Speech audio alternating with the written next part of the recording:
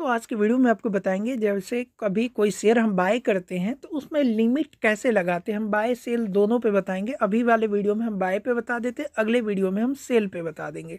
इसके लिए हम चलते हैं जेरोधा काई टैप पे, जैसा कि आपको दिख रहा। जैसे मान के चलिए टाटा मोटर्स का हम शेयर बाय करना चाहते हैं। अभी आप प्राइस आप देख सकते हैं, चार सौ चौबीस से पच्चीस हो गया। लेकिन हम इसमें लिमिट लगाना चाहते हैं। अब जैसे देखिए लिमिट खरीदने के लिए क्या है? जैसे टाटा मोटर्स पे क्लिक कर दिए। यहाँ आप देख सकते हैं, बाय सेल दोनों का बटन आ रहा है, हम यहाँ बाय पे क्लिक करेंगे। हम यहाँ लिमिट लगा देंगे। देखिए टाइप में है मार्केट मार्केट पे मार्केट का देखिए, यहाँ तीन चार चीज़ है। Market limit S L S L M होता है।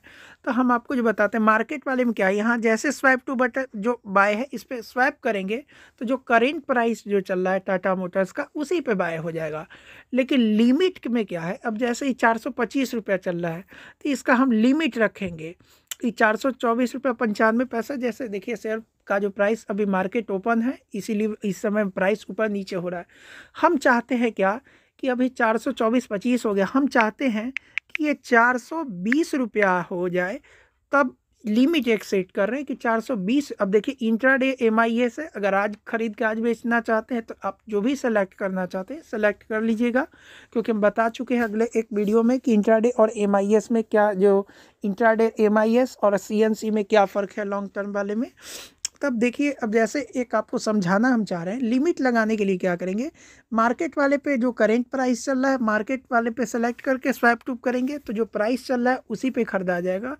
लेकिन अगर हम लिमिट लगाते जैसे चार सौ समथिंग पैसा, हम चाहते इसको कि नहीं, चार सौ पंद्रह पे आए इतना तो नहीं आएगा, लेकिन एक अंदाज़ा भी आपका होना चाहिए, ये नहीं कि चार सौ पे आ जाए तो चार सौ बीस रुपया हम लगा देते हैं, लिमिट लगा देते हैं कि जब ये चार सौ बीस रुपया के करीब पहुँचेगा तो जो है, हमारा जो है, ये खरीदा जाएगा। अभी देखिए, अब आपको हम खरीद के बताते हैं।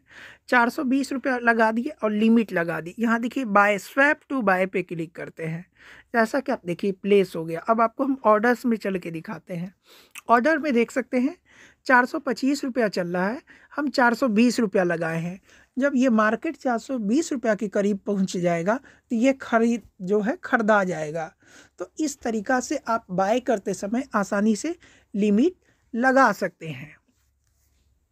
अगर जानकारी अच्छी लगी हो तो वीडियो को लाइक कर दीजिएगा। अगर चैनल पर नए हैं तो सब्सक्राइब कर दीजिएगा। फिर से मिलते हैं अगले वीडियो में।